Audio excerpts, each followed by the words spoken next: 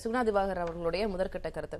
இப்போ பெண்களுக்கான அனைத்து தளங்களிலும் பெண்களுக்கான உரிமை பாலின சமத்துவம் அப்படின்னு பல்வேறு விஷயங்களை முன் வச்சு பேசுறாங்க. பாரதிய ஜனதா ஆட்சியில பெண்களுக்கான உரிமைகள் பறிக்கப்பட்டிருக்கு அப்படின்ற விமர்சனங்களை முன்வைக்கிறாங்க இப்போ இந்த தருணத்துல இதை பேச வேண்டியதற்கான எதிர்கட்சிகள் அந்த இந்தியா கூட்டணிக்கான இந்த தேவை அவசியம் என்ன வந்தது? இந்த கூட்டத்தினுடைய முக்கியத்துவமா நீங்க என்ன பார்க்கறீங்க? இந்த கூட்டத்தினுடைய ஒரு மிக முக்கியமான நோக்கமா நான் என்ன பார்க்குறேன்னா பொதுவா தேர்தல் வர்றப்ப இந்த மாதிரியான கூட்டணி கட்சிகளுடைய ஒரு கூட்டம் நடக்கிறது வழக்கமான விஷயம். தேசிய முன்னணியில இருந்து ஆரம்பிச்சு எப்பயுமே இந்த மாதிரியான கூட்டணி கட்சி தலைவர்களை வச்சுட்டு ஒரு கூட்டம் நடத்துறதுங்கிறது ஒரு வழக்கமான ஒரு விஷயம். ஆனா முதன்முறையாக பெண்கள் மட்டுமே பங்கேற்கக்கூடிய அல்லது பெண்களை முன்னிலைப்படுத்தக்கூடிய ஒரு கூட்டம் நடந்திருக்குது அப்படிங்கிறது ரொம்ப மிக முக்கியமான ஒரு விஷயமா நான் பார்க்கிறேன். அதுல மகளிர் உரிமை மாநாடு அப்படிங்கிறப்ப கனிமொழி சொன்ன விஷயம் எனக்கு ரொம்ப முக்கியமான ஒரு விஷயமா தெரிஞ்சது. ஏன்னா அவங்க சொல்றப்ப கிட்டத்தட்ட ஒரு நூற்றாண்டு கால வரலாறு இருக்குது இந்த மகளிர் உரிமை பத்தி ஒரு திராவிட இயக்கம் பேசுறதுங்கிறது.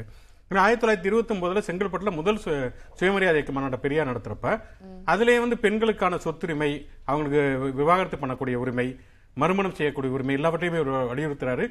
அதை தாண்டி அதெல்லாம் ரொம்ப முக்கியமான விஷயம். அதை தாண்டி ஒரு மிக முக்கியமான விஷயம் என்னன்னா இன்னைக்கு நம்ம வந்து வந்து சிங்கிள் பேரண்ட்டு அல்லது சிங்கிள் உமன் அவங்க மாதிரியான விஷயங்கள் நம்ம பேசிக்கிட்டு இருக்கிறோம். ஆனா அங்க ஆயிரத்தி தொள்ளாயிரத்தி இருபத்தி ஒன்பதுல அந்த முதல் சுயமரியாதை இயக்க மாநாடு போடுறப்பயே தனியாக வாழும் பெண்கள் விதவைகள் விபச்சாரிகள் என்று தங்களை கருதி கொள்வோர் சிறப்பாக இந்த மாநாட்டில் கலந்து கொள்ள வேண்டும் அப்படின்னு அவர் அழைப்பு விடுக்கிறார். அப்போ அதனுடைய தொடர்ச்சியாகத்தான் இந்த மாநாடு நடக்குது அப்படின்னு கனிமொழி பேசுறது ரொம்ப மிக முக்கியமான இந்த அரசியல் எலெக்ஷன் பார்ட்டிஸ்லாம் தாண்டி இது மிக முக்கியமான ஒரு விஷயம்.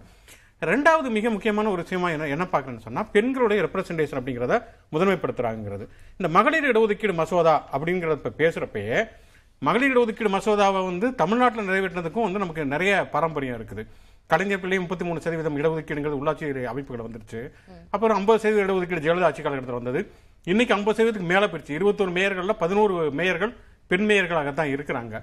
இப்போ மோடி முதல்ல வந்து மோடியின் மகளிர் இடஒதுக்கீடு மசோதா அப்படிங்கிற அந்த டைட்டில் கொஞ்சம் பிரச்சனையான தான் நினைக்கிறேன் நான். ஏன்னா மகளிர் இடஒதுக்கீடு மசோதா அப்படிங்கிறது ஆயிரத்தி தொள்ளாயிரத்தி தொண்ணூத்தாறு தேவகோட ஆட்சி காலத்திலே கொண்டு வரப்பட்டுச்சு. அதுக்கப்புறம் அந்த ஆட்சி கலைஞ்சது தொண்ணூத்தெட்டுல இருந்து ஒவ்வொரு காலகட்டத்தில் அது வந்து விவாதத்துக்கு கொண்டு வரப்பட்டு அது நடைமுறைக்கு வரல. ஆனா இப்ப வந்து மோடியினுடைய ஆட்சி காலகட்டத்தில் கொண்டு வரப்பட்டாலுமே நிறைவேற்றிட்டார்ல அதனால அந்த பேர் வச்சிருக்காங்க. இல்ல அது அது நிறைவேற்றினாலுமே கூட முழுமையாக இன்னைக்கு நடைமுறைக்கு வரல இப்ப பத்தாண்டு காலம் வந்து பேர்ல உங்களுக்கு என்ன என்ன பிரச்சனை? கண்டிப்பா பிரச்சனை இருக்குது. என்ன பிரச்சனைனா வந்து இப்ப வந்து ஒரு தொண்ணூத்தாறுல இருந்து ஆரம்பிச்சு இதுக்கு ஒரு பெரிய ஒரு வரலாறு நிறைய விஷயங்கள் இங்க நடந்திருக்குது. இப்ப மோடி வந்து ரெண்டு முறை ஆட்சிக்கு வந்திருக்கிறாரு. ஒண்ணு மகளிர் ஒதுக்கீடு மசோதாவை நிறைவேற்றணுங்கிற உண்மையான ஒரு ஆர்வம் இருந்ததுன்னா முதல் ஆட்சி காலத்துல கொண்டு வந்திருக்கலாம். ஆமா கொண்டு வந்திருக்கலாம். அல்லது இந்த ஆட்சி காலத்துல முதல் ரெண்டு ஆண்டுகளையாவது கொண்டு வந்திருக்கலாம். ஏன்னா இது தலாக்கு ரத்து மசோதாவுக்கு இவர் காட்டின ஆர்வம் வேளாண் மசோதாக்களுக்கு காட்டின வேகம் அதே மாதிரி குடியுரிமை திருத்த சட்டத்துக்கு காட்டின ஆர்வம் எதுவுமே வந்து மகளிர் இடஒதுக்கீடு மசோதாவுக்கு காட்டப்படல. இன்னும் சொல்ல போனா எதிர்க்கட்சிகள் இவ்வளவு அமளிகள் நடக்கக்கூடிய காலகட்டத்தில் கூட நிறைய ஒரு நல்ல விஷயம் வந்தா நீங்க அதை வந்து ஏன் லேட்டு எப்ப வரும் இந்த மாதிரி கேள்வியே கேக்குறீங்க. அதை வந்து நீங்க ஆதரவு கொடுத்து அக்செப்ட் பண்ணிக்கணும் அப்படின்றாங்க. ஒரு நல்ல விஷயங்கிறது நடைமுறைப்படுத்தணும் அப்படிங்கறதுக்காக தான் ஒரு நல்ல விஷயம் வரணும். அது வெறுமனே ஒரு டோக்கனுக்காக ஒரு ஓட்டு வாங்குறதுக்காக கொண்டு வந்ததுன்னா அது நிச்சயமா வந்து கேள்விக்குள்ளாக்கப்பட தான் செய்யும். ஏன்னா எதிர்க்கட்சிகள் அவ்வளவு அமளிகை நடத்- நடத்தப்பட்ட ஒரு காலகட்டத்தில் கூட நிறைய மசோதாக்கள் விவாதமே இல்லாம வந்து நடைமுறைக்கு நாடாளுமன்றத்தில் வந்துச்சு. சுப்ரீம் கோர்ட்டை கேட்டுச்சு. நீங்க இப்படி விவாதமே இல்லாம இப்படி மசோதாக்கள் நீங்க நிறைவேற்றினீங்கன்னா நாளைக்கு கோர்ட்ல கேஸ் வரப்ப நாங்க எதை வச்சு நான் ஜட்ஜ்மெண்ட் பண்ணுவோம்? எதிர்க்கட்சிகள் ஒரு விவாதத்துக்கு வர்றப்பதான் எங்களுக்கு அது மாதிரியான பாயிண்ட்ஸ் என்னென்ன இதுல என்ன பாசிட்டிவ் என்ன நெகட்டிவ்ங்கிற மாதிரியான ஏன் விஷயங்கள் தேர்ட்டி த்ரீ பர்சன்ட் ஏன் ஹோப்லெஸ்ஸா பாக்குறீங்க அப்போ? அது அது எப்போ இம்ப்ளிமெண்ட் பண்ணப்படும் அப்படின்னு தெரியாதனாலயா? ஆமா கடைசி காலகட்டத்துல தான் இதை கொண்டு வராங்க. இது வந்து சிறப்பு கூட்டத்தொடர்ல தான் இது அறிமுகப்படுத்தப்படுது. திருப்பி வந்து இது ஒரு மக்கள் தொகை கணக்கெடுப்பை எடுத்து தொகுதி மறைவரை எல்லாம் கொண்டு வந்து இன்னும் ஒரு பத்தாண்டு காலத்துக்கு தள்ளப்படுகிறது அப்படிங்கறது வந்து யதார்த்தமான ஒரு செயல் அப்ப அவங்க வைக்கிறதுனா டுவெண்ட்டி டுவெண்ட்டி ஃபோர்லயே அதை இம்ப்ளிமெண்ட் பண்ற மாதிரி வச்சிருந்திருக்கலாம். அதுக்கு சென்சஸோ டீலிமிட்டேஷனோ தேவையில்லை அப்படின்ற மாதிரியும் கொண்டு வந்திருக்கலாம். பட் அந்த கிளாஸ் அதுல இருக்கு. அதுதான் பிரச்சனை. ஆமா இல்ல இது முன்னாடியே இவங்க கொண்டு வந்திருக்கணும். ஏன்னா மற்றவற்றில் காட்டக்கூடிய ஆர்வத்தை இவங்க காட்டல. ரெண்டாவது பார்த்தோம்னா ஐடியாலஜிக்கலாவே பார்த்தோம்னு சொன்னா இன்னைக்கு இந்தியாவிலேயே பெண்களுக்கான இடஒதுக்கீடுங்கிறது ஜீரோ பெர்சன்டேஜ் இருக்கக்கூடிய ஒரு அமைப்புன்னு பார்த்தா ஆர்எஸ்எஸ் ஆர்எஸ்எஸ் தான் பிஜேபி ஒரு ஐடியாலஜிக்கல் அமைப்பாக இருக்குது அப்படிங்கிறப்ப ஆர்எஸ்எஸ் பெண்களே உறுப்பினராக சேர்க்கப்படல. அப்படிங்கிறப்ப பெண்களுக்கான ஒரு அமைப்பு இருக்கிறதா அது தனியா தானே இருக்குது. நீங்க அப்படி ஆர்எஸ்எஸ்ல வராது. கண்டிப்பா அது வரவே வராதுல்ல உங்களுக்கு. இப்ப நீங்க ஒரு கோல் கோல்வால்கர் ஹெட்கவர் மாதிரி ஒரு சாவர்கர் மாதிரி அந்த- அமைப்புல இருக்கக்கூடிய ஒரு தலைவர் பற்றி சொல்லவே முடியாதுல்ல. நீங்க நீங்க ஸ்கூல் காலேஜ்ல கூட நீங்க வந்து கோ எஜுகேஷன் தான் வேணும். பாய்ஸ் ஸ்கூலுக்கு சொல்றாங்க. தனியா இருக்க கூடாது. மகாலட்சுமி இதை சொல்றாங்க. குறுக்கிட ஒரு ராஷ்டிரிய சேவிகா சமிதின்னு தனியா பெண்களுக்குன்னு இருக்கு மேடம் அது தனியா இருக்கு. தனியா தான் இருக்கு இதுல வராது.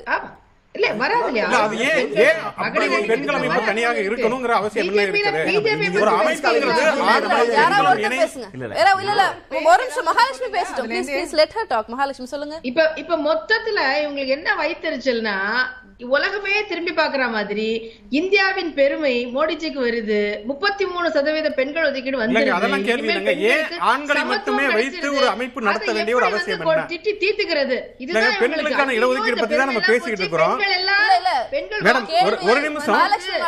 பெண்களுக்கான இடஒதுக்கீடு பத்தி- ஒரே வைத்தறிச்சல தான் இவங்க பேசிட்டு இருக்காங்க வேற காரணமே இல்ல இந்த கேள்விக்கு? மட்டும் பதில் சொல்லுங்க.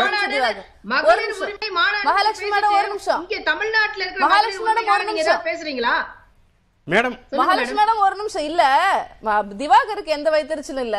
அவர் வந்து ஒரு கேள்வி மட்டும் கேக்குறாரு. என்னன்னா ஆர்எஸ்எஸ் அப்படின்ற அமைப்பு ஆண்கள் மட்டும் இருக்காங்க. அது எல்லாத்துக்கும் தெரியுது. இப்ப நீங்க சொல்ற அந்த சேவாசம் அது வந்து தெரிய கூட இல்ல பெருசா. அது ஏன் அப்படி தனியா இருக்கு? இல்ல ஏன் பெண்கள் இதுல அந்த அளவுக்கு இல்ல அப்படின்னு பிஜேபி தெரியுது இல்ல. தெரியறத பத்தி பேசுங்க. ஏதோ ஒரு அமைப்பு எங்கேயோ இருக்கு தெரியல. இந்தியா இந்தியா- இந்தியாவிலேயே இந்தியா பெண்களே இல்லாத ஒரு அமைப்புங்கிறது ஆர்எஸ்எஸ் அது ஏன் இருக்கு பெண்களுக்கான பத்தி நம்ம சதவீதம் பெண்களுக்கான. பாஜகவோட கட்சியில பெண்களுக்கான? இடஒதுக்கீடுங்கிறது அது சொல்லுங்க சார். ஏதாவது தீர்க்கறதுக்கு நீங்க வேலை பாக்குறீங்களா?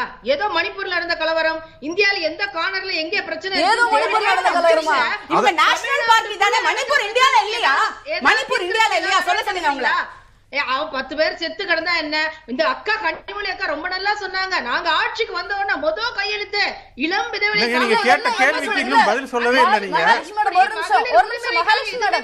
கேட்ட பதில் சொல்லவே இல்லை.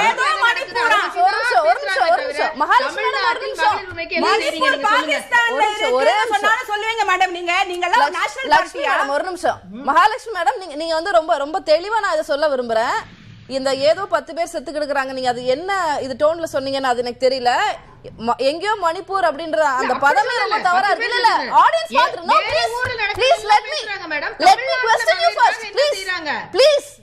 I need to condemn less let me question you first நீங்க அப்படி சொல்ற அந்த பதங்கள் அந்த வார்த்தைகள் உங்களை எப்படி ஆடியன்ஸ் கிட்ட கொண்டு போய் சேர்க்குது அப்படிங்கறத முதல்ல யோசிச்சுக்கோங்க. அதுக்கப்புறமா நீங்க பேசுங்க. ஐம் ஜஸ்ட் டெல்லிங் நான் உங்களோட இதுக்காக சொல்றேன்.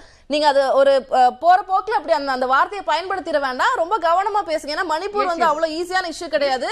ரொம்ப டெலிகேட்டா issue yes please continue now okay நான் என்ன சொல்றேன்னா வேற மாநிலங்கள் நடக்கிற எல்லா இஷ்யூஸும் பேசுறீங்க. இங்க தமிழ்நாட்டுல நீங்க முதவே நாங்க ஆட்சிக்கு வந்தா கையெழுத்து பிரதமர் மகளிருக்கு தமிழ்நாட்டுல நடந்தாலும் பண்றீங்களா? பேசணும் மணிப்பூர்ல நடந்தாலும் பேசணும். இந்த மகளிர் மாநாட்டுக்காக ஒரு கூட்டம் நடத்துனாங்க. கனிமொழி அக்காவும் ஆஹ், எல்லாரும் சேர்ந்து கூட்டம் நடத்து இந்த மகளிர் மாநாட்டுக்கான முன்னேற்பாடு கூட்டம். அங்கே பெண் காவலாளி தாக்கப்பட்டிருக்கிறாங்க.